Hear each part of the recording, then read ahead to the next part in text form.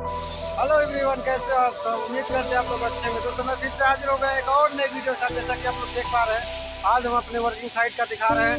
ये fabrication plastic हो रहा है इधर देखिए, इस तरह से आप लोगों को जूम करके दिखाते हैं।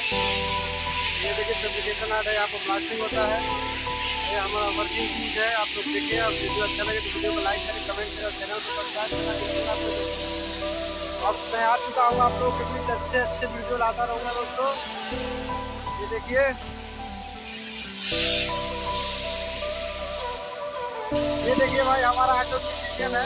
काफ़ी साल से हमारे साथ रहता है बहुत अच्छा काम करता है। किसी भी भाई को अगर के बारे में कोई भी जानकारी चाहिए जैसे ऑटो इलेक्ट्रिक गाड़ी में किसी भी प्रकार का काम का अगर जानकारी चाहिए तो हमारे कमेंट बॉक्स में कमेंट करें। ये हमारे ऑपरेटर भाई है, आप लोग देख सकते हैं पर फेब्रिकेशन चल रहा है। जैसे कि पर कलर हो रहा है।